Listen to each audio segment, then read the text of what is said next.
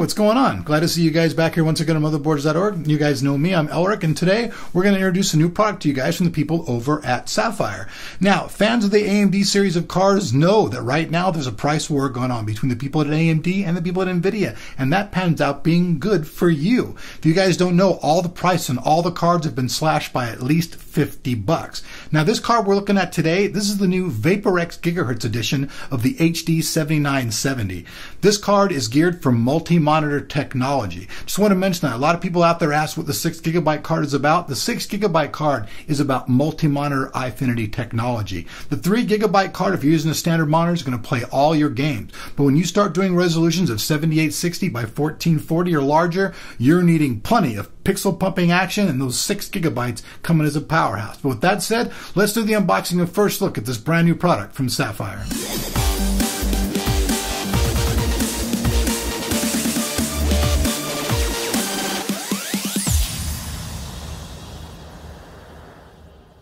All right, everybody. It's like any good unboxing. We're going to start off with, obviously, the books. So here it is, the Sapphire logo. It's the HD 7970 VaporX Gigahertz Edition. If you guys don't know what VaporX is, it's their special breed of cooling, which keeps the card running very, very well. You guys all know by now it's PCIe 3.0. Eyefinity support right out of the box, four monitors.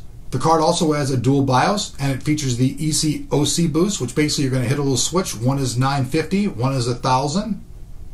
It's obviously the 6 gigabyte edition, so it's meant for multi monitor technology. And I know you guys are always asking why get the 6 gigabyte edition. The 6 gigabyte edition is not made to be faster than the 680. I know there's been a lot of controversy around that. That's not what this card was geared for. This card was actually geared for kicking ass on multi monitor technology on a 680, and it actually does that. So it does what it says. Flip around the back, not much there. Got the chick once again. She was in the front of the box too, giving us attitude like she's some crazy AMD bro with a pissed off attitude. Now that said, we'll go ahead and start peeling this little tape off. Didn't have to even use knives the last couple unboxings. Get the box out here. One thing good about these guys though, they always do give you a lot of shiznick inside of their box. I mean, when you get their stuff, they have a lot of stuff. So check that out. Oh, look at that, right side up. I've mastered the art of the Sapphire box. So Here's the card, but we'll get that to the next. Let's first talk about the accessories, because those are really what usually sets Sapphire products apart.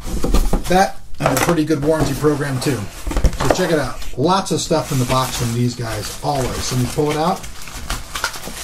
So I'll set it back in the box. So this is going to be kind of different. Instead of doing an unboxing, I'll do a reboxing. Here we go. Right here, we can see we've got the mini display port to standard display port adapter. HDMI cable. Next up, we have the Molex to 8 pins. So if you guys have old school power supplies that don't have the two 8 pin connectors, you can hook this up to your old power supply. Make sure you have enough power to power your card and make sure you always plug those in. Next up, we have the mini display port to DVI connector. You're going to be wanting to use this. Pay attention to this cable because you're going to need it when you do your Eyefinity setup. Very important. The Crossfire connector cable. This card can be used in quad crossfire configurations. Here's the DVI to VGA connector. Driver CD and case badge, which is now flying all over the place. Case badge, good stuff. And last but not least, the Sapphire Graphics Card Quick Installation Guide, and then, dun dun dun, the Sapphire Club.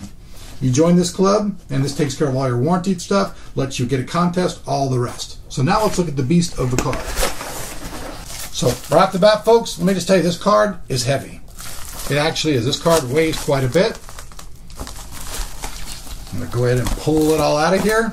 Now this thing is a giant sized card. I'm going to set it down so the cameraman can get some better angles. He hates it when I move all over the place like a like a wild man. But hell, I am a wild man. I don't know what the frick this guy expects. But anyways, let's check it out. Two fans right here on top. Clearly see it says VaporX. Now, VaporX technology, it's pretty much a lot like the DirectCU stuff you see from Asus. They, those guys use kind of similar type technologies. This directly mounts right onto your GPU. It then goes out into the aluminum heat fins, and you have all of these pipes right here, which are the heat pipes, and they help take all that heat away from your GPU, allowing it to be cool. And then these fans, they blow that heat further away from the card. Here's your PCIe 3.0 interface. Now it's really hard to tell just by looking at it, but the people at Sapphire do use very, very high quality components. You hear everybody out there throwing names on them like military class two, this, that, or the other. These guys use their own version of Black Diamond parts, and they're their own stuff. It's really good. Flip it around, just give you guys another angle of the card.